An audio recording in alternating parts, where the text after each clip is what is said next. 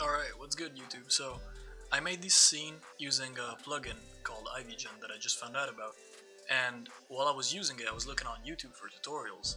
And there were a couple, but they were long as fuck and the Ivy they made looked like shit. This looks fucking gas, as you can see. So, let's hop right into it. I already made it, but uh, I can just fucking delete it. Alright, so, start out with uh, whatever fucking geometry you want, I don't really care. Why am I in the shading tab? Alright, so I'm just gonna grab the default cube, subdivide it a bit, then place your 3D cur cursor, 3D cursor, uh, wherever you want the roots to start. So if you place it here, it's gonna look like shit because roots don't start in the middle of the fucking wall. So put it under. That's a pro tip right there. Uh, going to edit preferences, add-ons, search for IvyGen, or just Ivy click on this checkbox and it's done. Then Blender Kit, uh, checkbox and it's installed. There you go. Then press N to bring this little menu forward. I don't know why it's create, but yeah, it's IvyGen. It's fucking annoying to look for shit here. While your 3D cursor is on the object you want the shit on, you want to select your object, and then you want to press Add New Ivy. But before you do that, I'm going to show you what the settings do. So, max Ivy length is how long the ivy branches are going to be, thank you. Then Ivy size works the opposite of what you think it would. If you make this number bigger, there's going to be less ivy, but it's going to be more spaced out. If you make it smaller, it's going to be more concentrated. It's not going to be smaller, it's going to be more concentrated. And it's going to look like ass, because you don't want branches clipping and shit, right? This, I don't know what it is. This, I don't know what it is. No one cares. Uh, the weights, you can decide how the ivy is going to be distributed based on random weight, primary weight, I don't know what it is, to the current direction, there you go.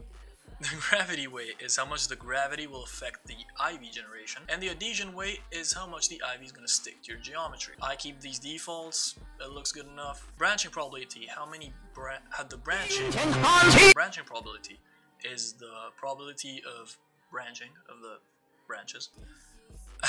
Ivy branch size.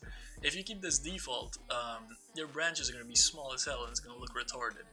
So I keep it at 0.02, they're pretty big, they taper at the end though, it looks pretty good. Ivy leaf size, you want to increase this a bit. You always want the leaf size to be bigger than the branch size. Because that's how ivy looks, I don't know, it looks good. Ivy leaf probability is the probability of leaves on your branches. I up this to 0.6. So, after you tweaked all this, add new ivy. And it looks like garbage for some reason. It looks like garbage, no problem. Maybe move your 3D cursor a bit. And don't touch anything in the 3D viewport or this little thing is gonna fuck off. You're never gonna have it again. If someone says, oh, you just press F9 and it comes right back, no, it doesn't. So, update Ivy. Oh, if Blender freezes, it's doing the right thing. Okay, great. So it looks good.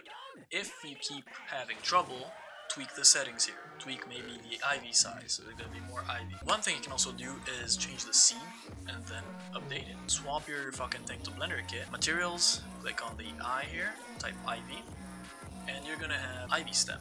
So select your stem, click on it, it's gonna download it, and there you go. Now select the leaves, go to material here, new, switch it to transparent, BSDF. Switch to models on the Blender kit, search for Ivy, and you're gonna have Ivy particle preset. Drag it wherever in the scene. It's gonna make a plane with the preset on it. Delete it because no one gives a shit about it. Select the leaves, and then in here you click plus, this, and then Ivy preset.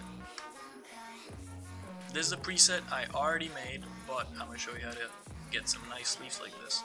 So first off, this number is going to be real low. If you have a NASA PC, you can right click uh, down here and click on scene statistics. It's going to show down here how many faces the geometry you have selected has. So this is 500,000 whatever. If you want leaves on every single emitter, which are these black things, you type in here 547148 and your PC is going to explode.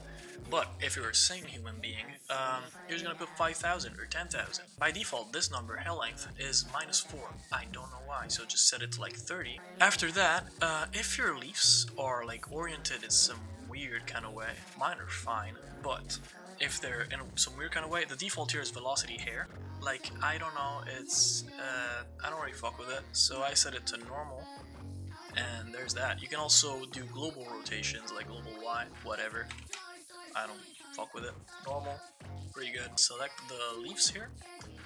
Into your material, which is transparent BSDF, make sure you turn on back face culling if you're using Eevee. Uh, Cycles doesn't give a shit. It just doesn't give a shit. I don't know why I why Eevee. Turn off. No, turn on back face culling. Yeah.